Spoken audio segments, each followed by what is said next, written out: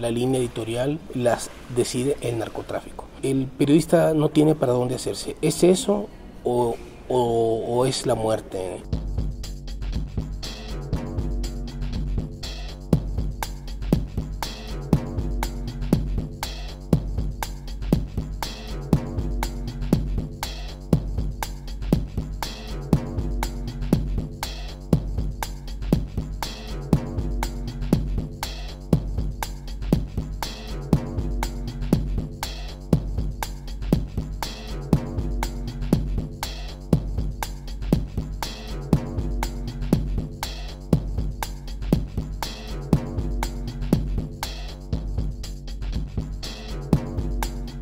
Se hizo un recorrido punto por punto para comprar los, los ejemplares. Son muchísimos, más de 300 puntos.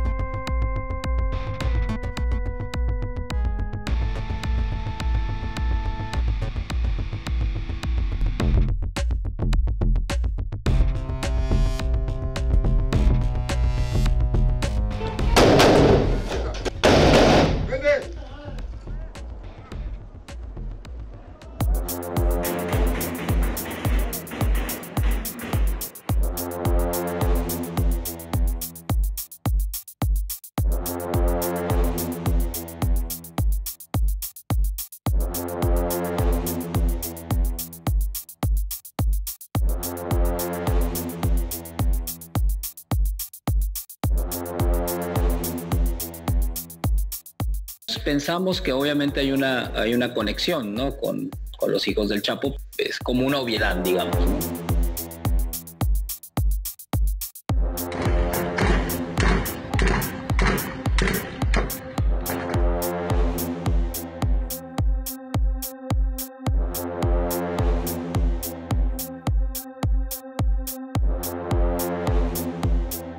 ¿Hasta dónde puedes publicar? ¿Qué puedes publicar? Entonces hay una línea casi invisible que si la traspasas te matan. Ya no estás en el filo de la navaja, estás cortado por la navaja.